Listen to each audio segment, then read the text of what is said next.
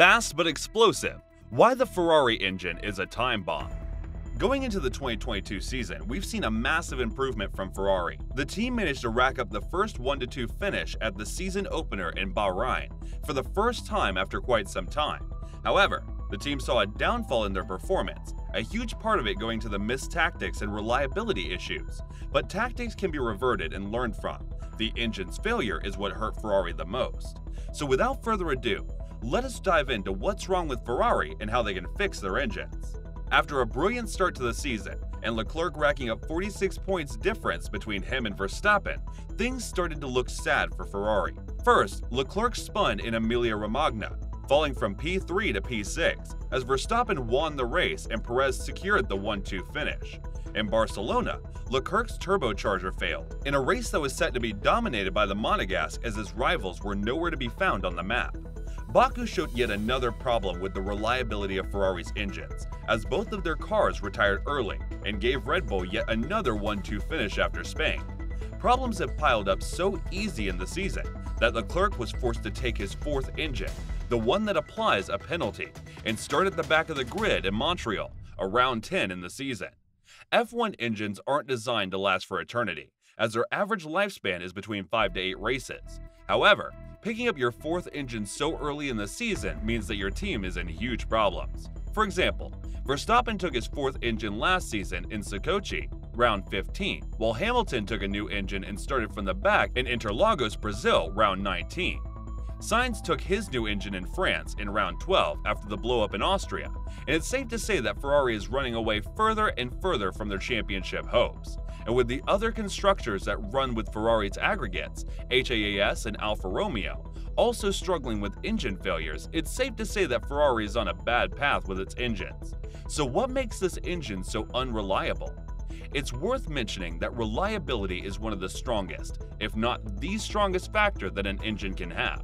Sure, the speed needs to be there, and if you have an unreliable but fast engine, it's easily fixed, as the slow but reliable engine cannot be upgraded. However, we've seen how Mercedes dominated the turbo hybrid era from 2014 with their engines, and we've seen how they racked up podiums with their slow but reliable engines, always capitalizing on other teams' mistakes. Compared to them, Red Bull also has a fast but unreliable engine at the beginning of the season. We've seen Max Verstappen retiring in Bahrain and Australia, and Perez retiring in Bahrain and Montreal due to reliability issues. However, Red Bull has gotten on top of its problems, as we've seen them dominate even more than ever. To compare how huge the engine reliability is for Ferrari-powered constructors, Bottas has been running on his third turbocharger in MGUK since Baku, while Magnussen had to take a new engine along with Sainz in France. For things to be sadder for Magnussen, he even failed to finish the race. The reliability of Ferrari hasn't gone unnoticed by the team boss Binotto, who said it after the Bakugo catastrophe in the team. Certainly it's a concern. We said it even before coming here in Baku, Reliability is always a key factor in the battle, said Binotto. Now, let's talk about the F1 engines and which parts are most fragile in Ferrari's cars. An F1 engine consists of multiple components, and one of the most important ones is the MGUK, Motor Generator Unit Kinetic. This part of the engine is activated when a car is braking, as it operates as a generator and recovers any injury from the deceleration wheels back into the energy store in the engine. However, the most important part of an F1 engine is the ICE, otherwise known as internal combustion engine. This component is the same as in any other normal road car, as it generates movement for the car along the track and it connects the chassis of the car to the gearbox. The turbocharger was introduced in 2014 when F1 entered the turbo hybrid era. Its purpose is to increase the density of the air that the engine consumes, giving the engine more power and allowing it to go quicker. The MGU-H, motor generator unit heat, is attached to the turbocharger. This part harnesses any of the excess energy produced from the exhaust. The MGU-K and MGU-H will get all of the energy to power the car from the energy store, ES. Then, these will provide the driver with a boost, which is given to the driver when he presses the ERS button on the steering wheel. Another important part of an F1 car is CE, or control electronics. They are also limited to use, and the initial penalty of Sainz for changing just control electronics was 10 places. However, the team opted to take all the new components and dash through the field from last place. Control Electronics is a very important car in Formula One because if it fails, the driver will most likely retire from the race because he won't be able to operate any of the systems on the car. For example, DRS won't open, brakes won't work, gearbox, throttle, and many other systems will fail.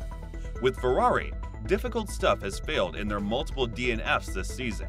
As we said above, the turbocharger failed in Leclerc's DNF in Barcelona, and that could be heard from the sound that the engine makes. Not just that, the light smoke that comes out of the exhaust also points out a turbocharger failure. With Sainz, it was most likely a hydraulics issue. Hydraulics issues aren't involved with the engine reliability, but they are also a very important part of the car, given the fact that Sainz wasn't able to continue the race after enduring problems with it. As for Sainz and his stint in Austria, the defect was so catastrophic that the engine caught fire in just a couple of seconds. Here, Sainz suffered from issues on the hybrid part and forced induction. Compared to Baku, it was a very different issue, as there the problems were the valves and the cylinder head. The MGU-H, or the heat generator, produces energy to recharge the battery or to generate power.